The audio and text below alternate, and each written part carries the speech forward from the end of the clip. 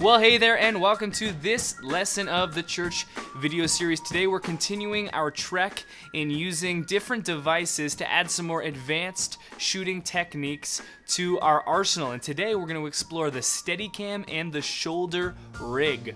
Starting with the shoulder rig. A shoulder rig is a stabling device that holds your camera and sits on your shoulder. Think of it like a portable tripod. It can perform most of the same movements and boasts most of the same capabilities, but you don't have to set it up each time you move.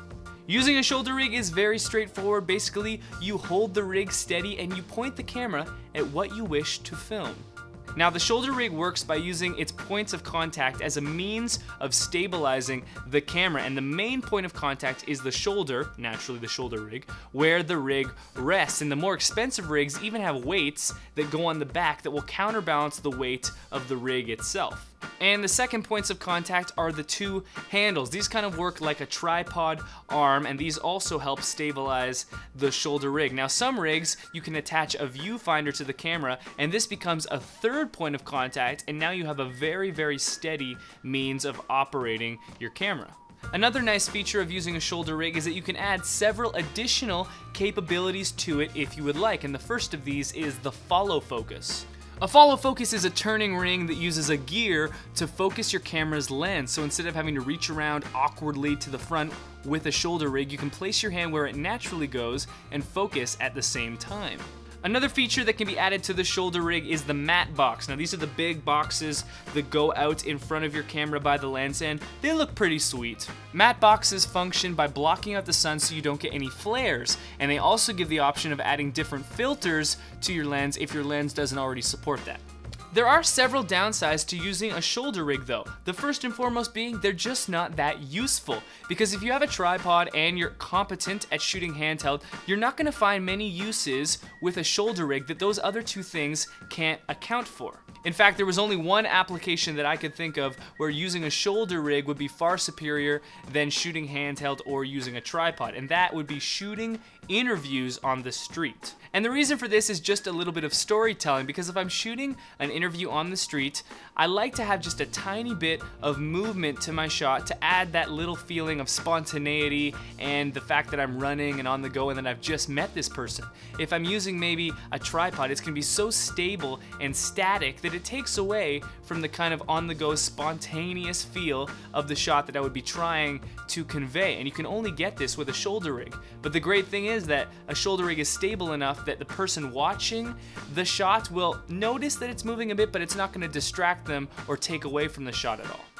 Another bonus is that a shoulder rig is fairly compact. It sits on the shoulder like a news crew and it's not very intimidating. Now, if I was using a tripod with maybe a boom mic and a light, this would look very intimidating to someone I just met on the street, but a nice shoulder rig setup can be very discreet and less intimidating so that if you're interviewing someone on the street, you can get some nice answers from them without them feeling uncomfortable or awkward in any way. So, if your church does a lot of shooting on the street interview type of things, consider getting a shoulder rig there are a bunch of cheap ones you can get. I'll link to some of those, and they're just really great for that. But if you're not gonna do that, don't consider it.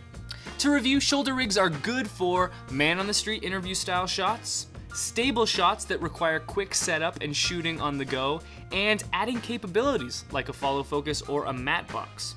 But shoulder rigs are bad for walking, if you're trying to walk with a shoulder rig, it's gonna be very bouncy and very shaky. They're also bad for anything with a great deal of movement because a shoulder rig is quite stable and stationary, and so a shoulder rig quickly becomes redundant if you already have a tripod. And the second device we're gonna talk about today, the Steadicam. The second super cool camera device that we're exploring today is the Steadicam, and now we're getting into some very cool, some very fun stuff. A Steadicam is a device that does its best to balance a camera in the air or suspend it from any solid grip so that when you move with the Steadicam, it gives the illusion that the camera is floating through the air, suspended. Steadicams are used all the time in movies for filming. Basically, anytime you've seen a camera moving that looks like it's in mid-air and without any kind of shake, that's likely a Steadicam. Now, there are different types of Steadicams. The ones that are used in big budget movies, like I mentioned, are these giant contraptions that strap to your body. It's like having a second person on you that you operate and you just become one with the Steadicam. But for you and I, there are budget options that use just a single counterbalance weight and can be used handheld.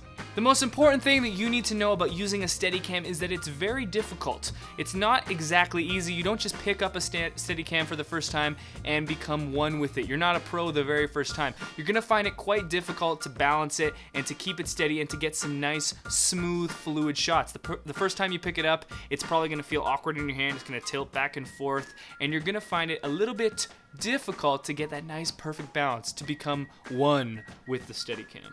When you look at your footage of a Steadicam from the first time, you'll probably see a lot of jarring and shaking. It won't look nearly as smooth as you're hoping. You're also going to likely to have a sore arm because you have to hold the Steadicam in front of you and it has the camera weight plus the counterbalance weight and holding your arm out like this, it gets kind of tired. But as you continue to practice, you're going to get more skilled and you're going to start to see your shots become very, very smooth and beautiful, even using a budget version. Now, don't fall into the trap of thinking that you need a more expensive Steadicam. Don't think that just because your shots don't look so great that it's because your gear isn't high enough quality. You don't need to spend an extra thousand dollars or anything. The budget versions are fine, they just take a lot of practice. Steadicams are good for adding movement to your films, they're good for following people while walking, and they're great for moving through a scene. Now, Steadicams are bad for still shots because they're almost impossible to hold still.